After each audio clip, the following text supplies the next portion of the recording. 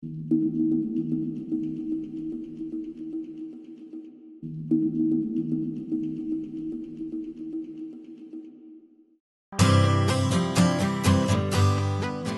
September 3, 2014, DSM and its joint venture partner POET celebrate the grand opening of one of the world's first cellulosic ethanol production facilities, called Project Liberty.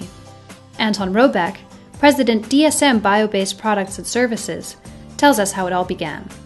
It started uh, seven years ago uh, within the Innovation Center with the development of enzymes and yeast technology uh, that allows us now to convert crop residues into cellulosic ethanol. Behind me you see a cornfield. I believe this is grown for animal feed. And then the farmers take the corn for the feed application and the uh, leaves and stalks remain on the field. And this is what we use then to uh, take out the sugars and produce ethanol.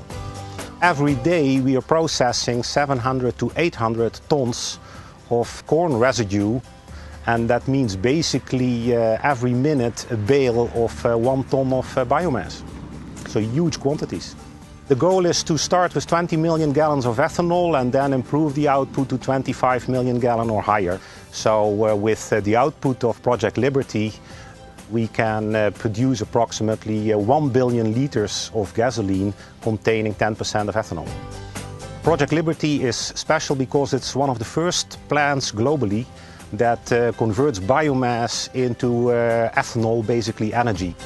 We are helping the world to become less dependent on non-renewable uh, fossil uh, fuel uh, sources like oil and gas or coal.